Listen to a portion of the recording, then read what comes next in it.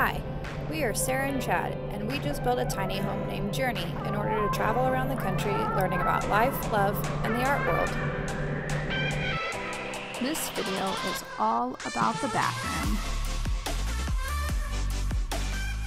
In the original plans that Chad drew up, the toilet was going to have its own stall in the back of the house. It would be floor to ceiling, white and gold tiles with a storage cabinet up top and a bathroom bench with a 5 gallon bucket and gold toilet seat down below. When we changed the placement of the bed, we ended up having to change where we put the toilet. It ended up moving towards the front of the house, tucked away under our bookshelf. We kept the overall time spent and cost of materials, even though we ended up scrapping about half of the work, because that is part of this process too. So for our bathroom, we decided to outsource most of that. So for showering, we plan on doing that at Gold's Gym or Planet Fitness, maybe the occasional truck stop or campground.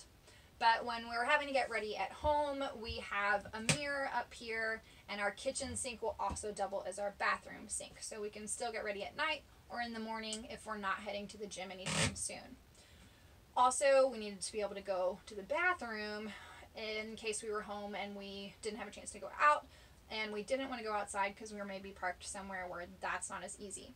So we built a little bathroom stall, not really part of the original plan, but it's simple, consists of a five gallon bucket that has compost. We do our business in it and then we cover it with the composting material, which we're still experimenting with that. It's either going to be uh, dirt, so we have easy access to that, or it's going to be wood chips, um, some sort of natural substance.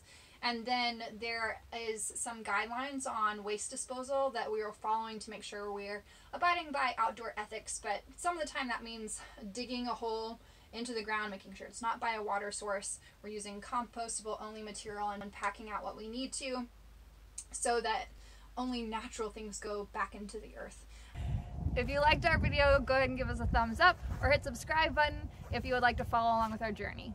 Let us know in the comments below what your favorite part was or what part you would change. Good job. Yeah? All right.